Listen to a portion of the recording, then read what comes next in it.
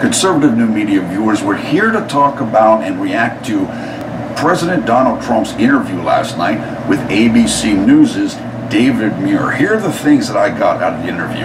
Number one, President Trump is incredibly likable.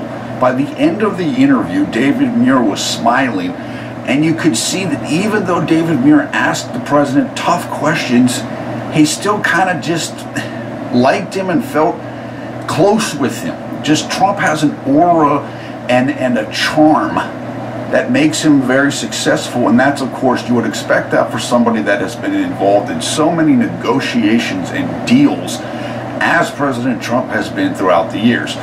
You need that skill to be able to get people to come towards your position when you're negotiating. So it's not a surprise. If you watched any of the interviews or the interview of President Trump with CBS's Lesley Stahl right around the time when President Trump won the election, you'll see the same thing. Lesley Stahl is smiling almost despite herself, and that's the effect that President Trump has on people. Number two, President Trump is very much an alpha figure. He's very much in command and in control. So no matter what type of questions he's getting, no matter how hard hitting the question may be. He always seems calm and serene and he's where he wants to be. He is in command. Number three, Donald Trump is a very plain spoken person and that resonates well with middle Americans and working class Americans. He has a quality like Ronald Reagan. He's a very good communicator. He doesn't speak in lofty ways and normal people can get it. They understand it and they react positively to these things.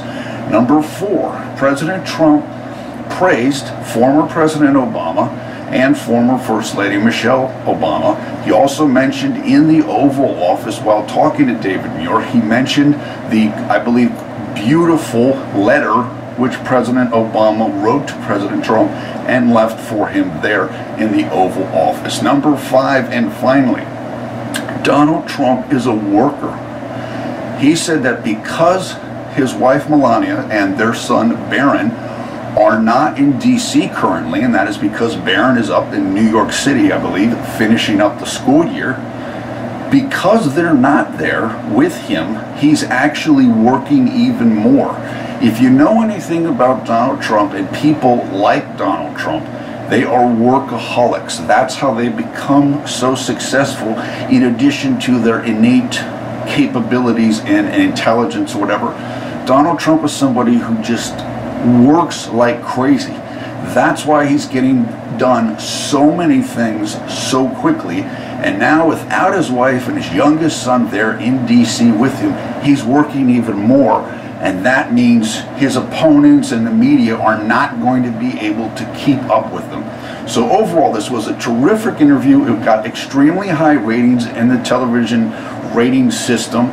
I believe it was the highest rated program of last night. That was reported today. I think it was extremely successful. And it's just, it's, the more you see President Trump, the more you like him and we're seeing that as his approval ratings continue to go up. And I think the further exposure that he gets with the vast majority of the American people, the better off he's going to do in those approval numbers and just implementing his agenda. Thanks for watching Conservative New Media. I am PFE Paulette Villarreal. We will talk to you again soon.